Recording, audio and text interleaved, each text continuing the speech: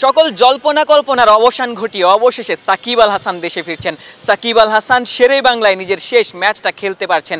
একটু আগেই বাংলাদেশ দলের স্কোয়াড ঘোষণা হয়ে গেছে। আসন্ন দক্ষিণ আফ্রিকা সিরিজকে সামনে রেখে বাংলাদেশ ক্রিকেট বোর্ড স্কোয়াড ঘোষণা করেছে, যেখানে সাকিব আল হাসান রয়েছেন। অর্থাৎ দেশের মাটিতে, দেশের মানুষের সামনে, সাকিব ভক্তদের সামনে সাকিব নিজের শেষ টেস্ট ম্যাচটা খেলতে পারছেন। দক্ষিণ আফ্রিকা দল দেশে এসেছে, বাংলাদেশ দলের চান্ডিকা অধ্যায় শেষ হয়ে গেছে। বাংলাদেশ দলের নতুন কোচ হিসেবে ফিল সিমন্স দায়িত্ব নিয়েছেন। দায়িত্ব নিয়েই দেশে এসেই প্রথম দিনই দুই ঘণ্টার মধ্যেই সেরেই বাংলায় এসেছেন। বাংলাদেশ দলের সাথে দেখা করেছেন ক্যাপ্টেনের সাথে দেখা করেছেন বোর্ড পরিচালকদের সাথে দেখা করেছেন।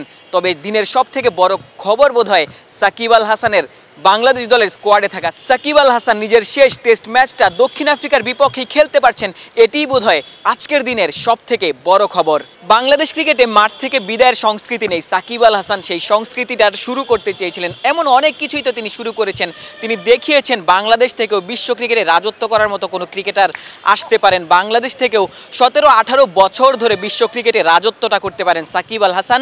মাঠ থেকেই বিদায় নেওয়ার রীতিটা শুরু করতে চেয়েছিলেন। কানপুরে নিজের যেই শেষ টেস্ট ম্যাচটা খেলেছিলেন, সেই ম্যাচে তিনি জানিয়েছিলেন তার বিদায়টা দেশের মাটিতেই হবে। যেই সেরেই বাংলায় তিনি বছরের পর বছর খেলেছেন, সেই মাঠ থেকেই তিনি বিদায়টা নিতে চেয়েছেন এবং তার সেই ইচ্ছেটা আসলে পূরণ হতে চলেছে। সাকিব আল হাসানের দেখা দেখি অবশ্য মাহমুদুল্লাহ রিয়াদ অন্তত টি টোয়েন্টিতে মাঠ থেকেই বিদায় নিতে পেরেছেন মাহমুদুল্লাহ রিয়াদ। সবশেষ টি টোয়েন্টি সিরিজে ভারতের মাটিতে মাঠ থেকেই বিদায় নিতে পেরেছেন। স্কোয়াড ঘোষণার ঠিক আগ মুহূর্তে আমরা নাজমুল আবেদিন ফাহিমকে পেয়েছিলাম, যিনি আসলে সাকিব আল হাসানের শিক্ষাগুরু। লম্বা সময় ধরে সাকিবকে যিনি দেখেছেন, সাকিবের ইমোশনটাকে যিনি আসলে ফিল করতে পারেন, সাকিবকে তিনি আসলে চেয়েছিলেন দেশের মাটিতেই সাকিব যেন বিদায়টা নিতে পারেন। তিনি আসলে স্কোয়াড ঘোষণার আগেই বলছিলেন, বাংলাদেশ ক্রিকেটে সাকিব আল হাসান শেষ ম্যাচটা সেরেই বাংলাতেই খেলবেন। তিনি এমনটাই আসলে নিশ্চিত করেছিলেন গণমাধ্যম কর্মীদের, এবং সেটাই আমরা আসলে দেখতে পেয়েছি বাংলাদেশ ক্রিকেট বোর্ড যখন অফিসিয়ালি একাদশটা ইনফ্যাক্ট স্কোয়াডটা ঘোষণা করল, তখনই কিন্তু আসলে আমরা দেখতে পেলাম সাকিব আল হাসান স্কোয়াডে রয়েছেন। বিশ্ব ক্রিকেটের যত বড় বড় তারকা ক্রিকেট থেকে বিদায় নিয়েছিলেন, বিদায় লগ্নে ফ্যান্স কিংবা ক্রিকেট বোর্ড থেকে বড় ধরনের সংবর্ধনাই পেয়েছিলেন সাকিব আল হাসান।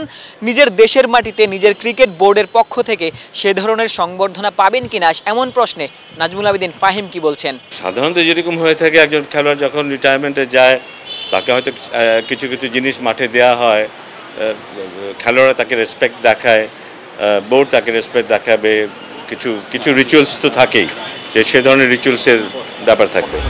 নিশ্চিতভাবেই সাকিব আল হাসান দেশের ক্রিকেটের সব থেকে বড় তারকা সাকিব। নিজের শেষটা দেশের মাটিতেই করতে চেয়েছিলেন, দেশের মানুষকে সাথে নিয়েই বিদায় নিতে চেয়েছিলেন।